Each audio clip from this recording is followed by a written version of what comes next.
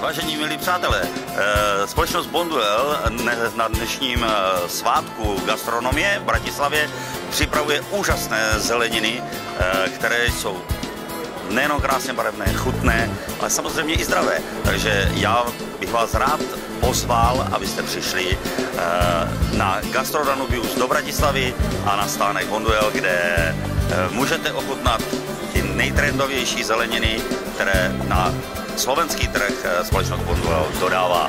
Takže přijměte moje pozvání, podívat se, ale i samozřejmě ochutnat. Je to úžasné, krásné a fantastické. Grilovaná zelenina. Grilovaná zelenina na slovenském, ale i českém trhu je velký problém.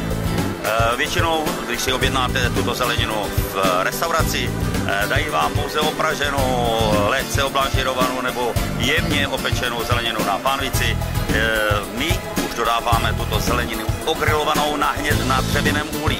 Je to úžasná zeleninka, která voní, je krásně barevná a chutná opravdu jako grilovaná zelenina. Takže eh, jednoduchost, nádhera a kvalita.